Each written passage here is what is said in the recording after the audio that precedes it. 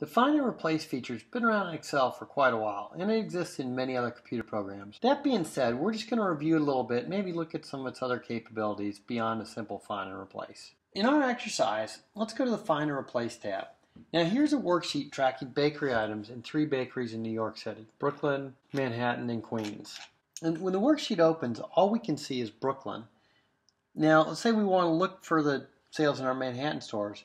We could simply scroll down until we get to Manhattan, which wouldn't take too long in this workbook, but we could also use the Find feature. If you look at your menus, the Find is on the Edit menu, but you see it also has a keyboard shortcut of Command F. Let's use that to get to the Find command. Now the Find command brings up the Find dialog box and it asks us what we want to find. And the first thing we want to find is Manhattan. So we'll click Find Next. And you see Excel found it down here on row 45.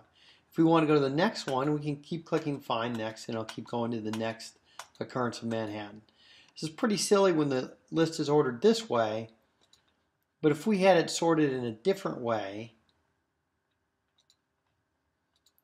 then it might make a little more sense to use the find. If we go find next, comes down to here, and then it'll jump to the next occurrence of Manhattan, and so on.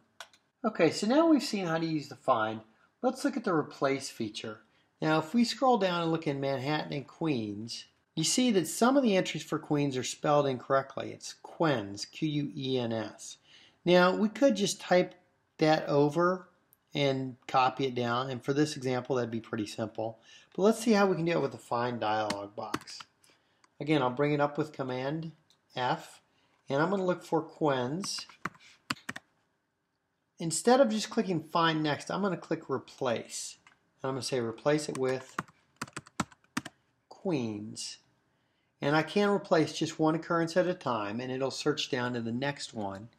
But if I want to do all of them, if I know it's misspelled on my whole worksheet, I can just go ahead and click replace all. And it has 19 instances. A couple of the other options you have here on the find. Um, right now it's within that's the scope of this find. Right now it's just looking in this worksheet. If you wanted to, you could expand it to do the entire workbook.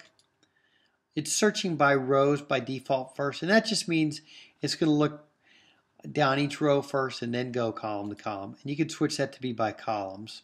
And then the two other options you have are match case and find entire cells only. So to do our, to do our find again on a match case, if we want to look for queens and click on match case, if I click find next, Excel says it can't find that data. And that's because I don't have any text that has queens without a capital Q. So if I capitalize my Q, then I can find it. The other one is to find entire cells only. So for example, if I was looking for Manhattan but wasn't sure how I spelled it, I could just type man and it would find Manhattan because that's part of Manhattan. But if I click the check mark to say find entire cells only and click find next, again, Excel's not going to find that because there's no cell that just has the word man in it. And that's about it for the find and replace. Although it can seem like a pretty basic function, and it is, it can still be a great help in troubleshooting a worksheet and fixing errors in bulk. Don't hesitate to rely on this tool when you need to.